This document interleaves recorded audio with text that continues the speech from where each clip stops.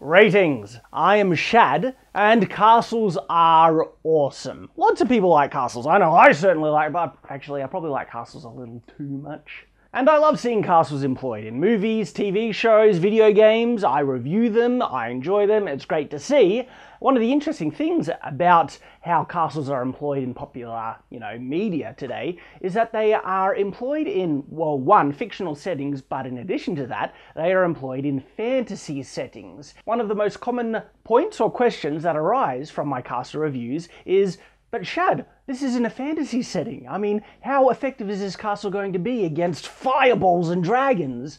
Well, that is a very good question. Let's answer it.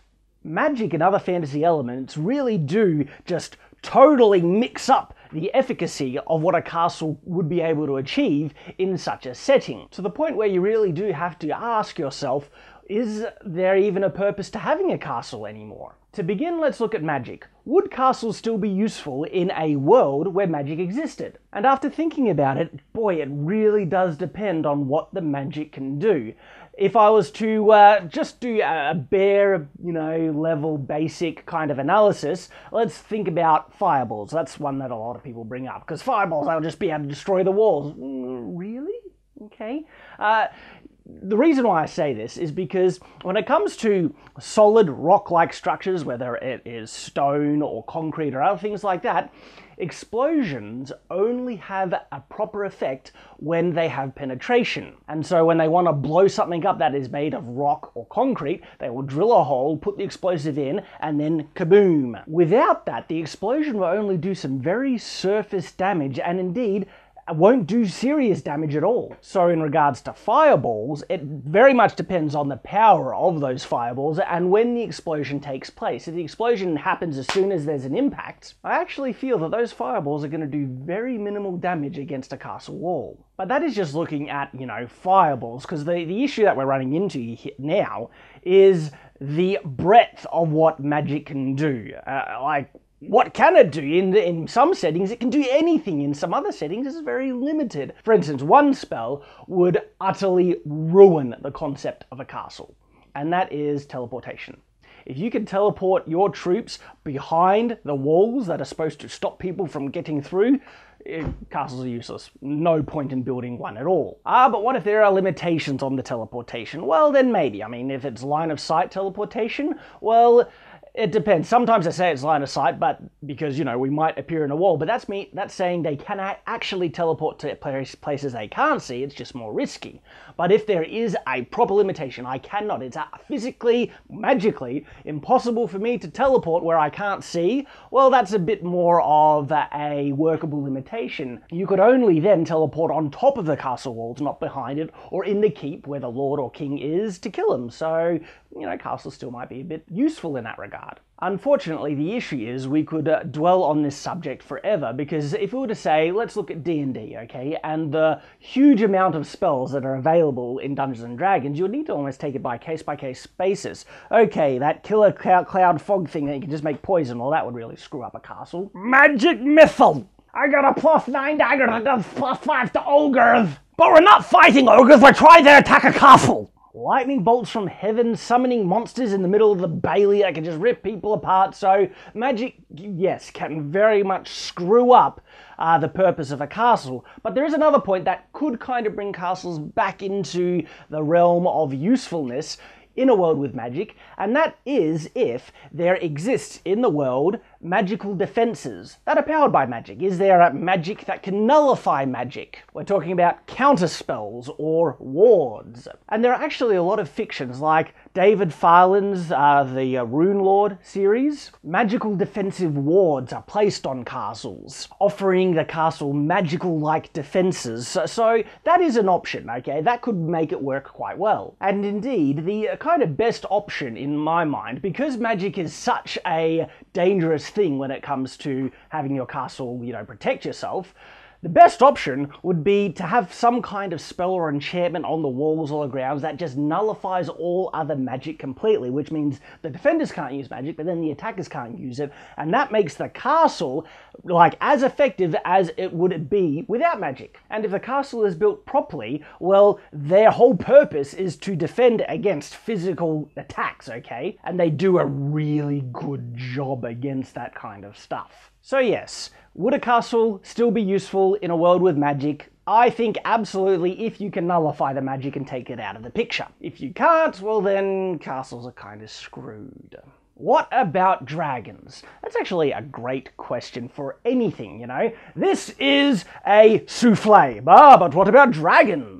Dragons change up the scenario in everything. This is a tank. Ha, what about dragons? This is my daughter's dance recital. Ah, but what about dragons? We should be willing to ask that question in any scenario in life.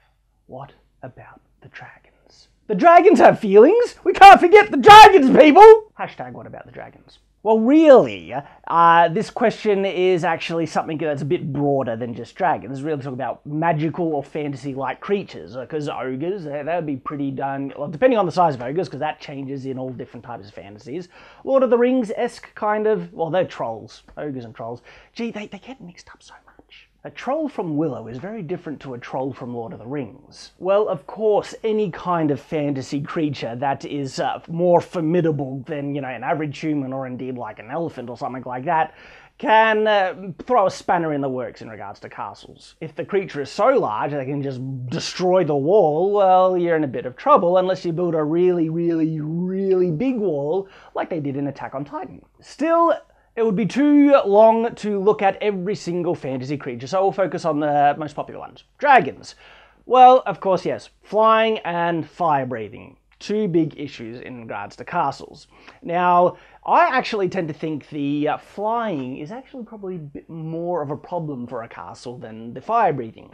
The fire breathing comes into the same thoughts I had in regards to fireballs. Unless there is actual penetration where an explosion can get in, you know, the uh, stone a bit, it's only going to do surface damage. It would certainly hurt the defenders on the walls, but there is kind of a way, if, if you were in a setting with dragons and you knew, you know, dragon fire was a problem, and again, it comes into how powerful the Dragonfire is. If the Dragonfire can melt stone, like in Game of Thrones, well, yeah, why bother building a castle? But if the Dragonfire is just like a flamethrower, well, if you're an individual, you'd be in trouble, you would need some cover from it. But flamethrower like fire would not be able to melt stone or destroy a castle. So then, if you were to actually build a proper, you know, roof cover out of stone, so you make a bit of a vaulted ceiling on top of the roof, and you still have your machicolations and your arrow slits and stuff like that to give you a proper defense, well then you could have a castle that would be able to defend against Dragonfire quite effectively if the Dragonfire can't melt stone. So in regards to Game of Thrones, and I'm not up to date on all the Game of Thrones lore, uh, and I don't know how prevalent dragons were, and it was the Targaryens that had the dragons on their side, I believe. It would depend on how likely you would be to get attacked by the dragons, and so if you don't have to worry about the Targaryens, well then your castle could still be quite effective against ground troops. Regular medieval level, uh, you know, technology type of aggression. Castles are great at defending against those type of things. But if you're always going to be attacked by a dragon, there's no point in having a castle. It doesn't make sense that they exist in the setting. If the fire can melt the stone. If not, you know, there's ways to defend against it, but then you have the problem with the flying thing. Flying can be a very big problem, which is why I think it could be even a bit more of a problem than the dragon fire, because you can just lift, you know, several men over the wall at a time. There could be ways to defend against it, but if you're able to get enough people over those walls and, uh, you know, drop down right down on top of the attackers, you're kind of screwed. And then there's another problem on top of it as well, and that is the dragon being able to lift up heavy rock kind of boulders, depending on what weight like they can lift in flight, and then just dropping it on people on the walls or through the roofs. You see, walls can defend against large boulders thrown at them quite effectively. They won't be able to stand up to constant pummeling, in my assumption, it's actually a bit hard to find out exactly how effective trebuchets were, but I get the impression, as I've said in other videos, they're not as effective as people think. Their castle walls are not easy to demolish. Castle roofs, on the other hand, that's a completely different story. A boulder would easily crash through the roof and the several floors because it's just wood. And that would enable you to drop other kind of things, like a big pot of burning oil to set the entire thing alight. I get the impression the accuracy from just being able to kind of drop death bombs over the walls on attackers in the important parts behind a castle wall would be quite effective.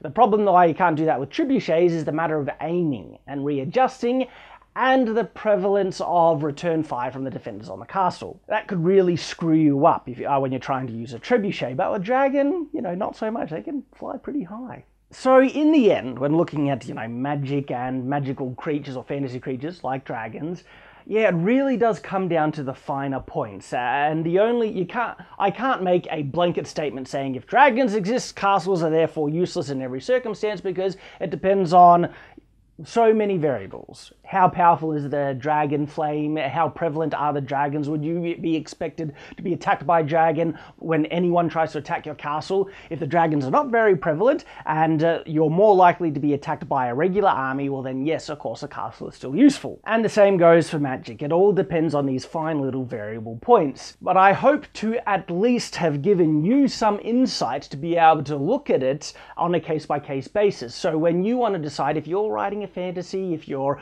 making an RPG world that you're going to be game mastering or anything like that, I hope you could look at it and say, well, this is what my magic can do. Da, da, da, this is what the mag- fantasy creatures are, and they can do this, this, this, and this.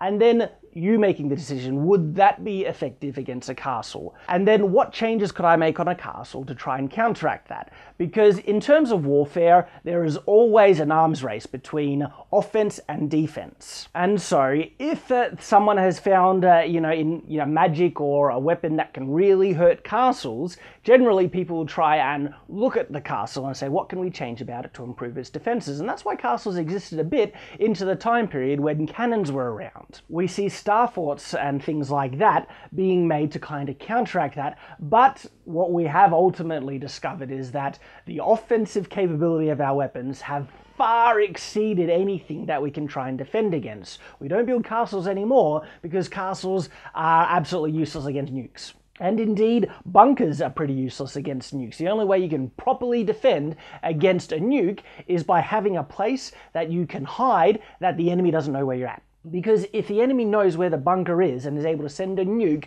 pinpoint accuracy, right on top of wherever the bunker is, there's almost no depth that you can, you know, build that bunker to where you'd be safe. Or if there was, it's so deep that it's impossible to actually build the bunker there. And this gives a good kind of comparison for us to compare. If the weaponry in your setting or in any type of fantasy setting is getting up to, you know, nuclear kind of level, you can be fairly assured that castles would be absolutely redundant and useless in that setting if its purpose was to try and defend against those things. There you go, these have been my thoughts about castles in relation to magic and fantasy creatures such as dragons. I hope you have enjoyed. Please do share your thoughts if you think I've missed something out or if you feel that there might be something else that could be a big problem for castles or if you could change something in castle to make them more effective against the things I've mentioned. I look forward to reading them. Thank you for watching and farewell.